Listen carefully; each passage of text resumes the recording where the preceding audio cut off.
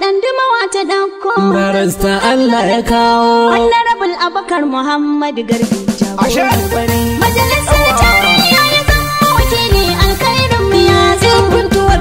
Kun ji daɗi barasta Allah ya kawo.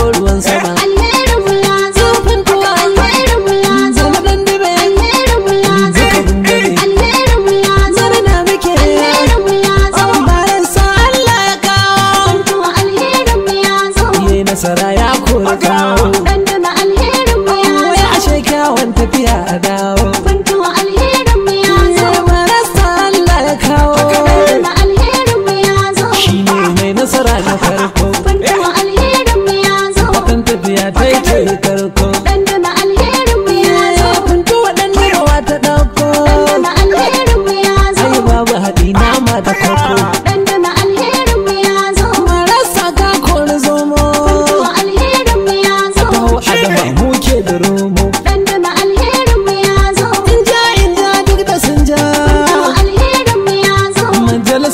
kai Abuja. Dan da mun ci uwar mai kan Khadija. Kun alherin mu ya zo. Ya za su yi Allah ya so.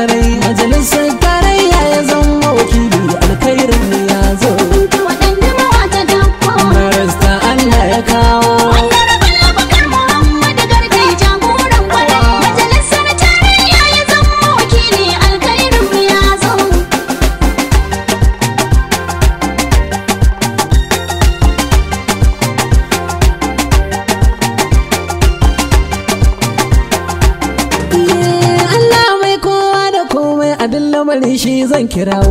Sarkin sarki wahidan ahadin baya tafiya ya dawo. Baya bacci rabana wanda shi ya halicci gida da kawo. An ci a baki a ji garɗi. Allah ka sa waƙa ta ta yi daɗi. Ana ta bikin murna ta cin zaɓe ni ma ba zan shiri